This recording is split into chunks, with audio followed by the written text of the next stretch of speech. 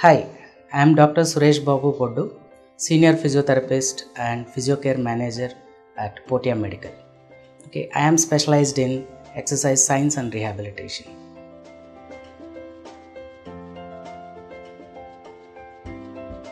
The treatment of sciatica includes self care, medication, physical therapy, and surgery. In self care, so what we do in the home, so applying ice and cold packs and giving rest. Okay, so ice packs should be given several times in a day. Uh, for suppose say uh, five to six times, and after ice packs, so if the pain is not relieved after two days, then we should go for physical therapy. Okay? And rest more than 2 days is not advised because rest for more than 2 days may aggravate the symptoms okay coming to the medication. So non-steroidal anti-inflammatory drugs can be used.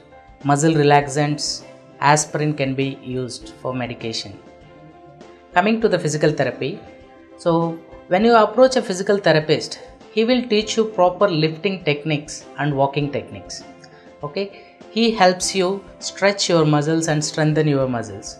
And he may use massage which is therapeutic massage and he may use ultrasound shortwave diathermy and traction can be used. So surgery. Surgery is a rare condition where we do it.